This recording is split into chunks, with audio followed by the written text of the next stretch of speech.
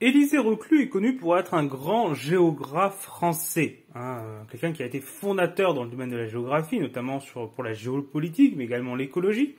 Mais en plus du coup d'être un géographe, c'était également un militant anarchiste, ayant notamment ainsi participé à la Commune, ayant été proche de Bakounine et d'autres militants anarchistes, mais également quelques socialistes à une époque où les deux mouvements étaient quand même plus proches qu'aujourd'hui. Et il a participé à des journaux anarchistes et a pris position sur plusieurs débats au sein du, mouvement, euh, du mouvement libertaire. Par exemple, il considérait que les anarchistes ne devaient pas fonder des sociétés à part, mais être présents dans la société pour la transformer de l'intérieur.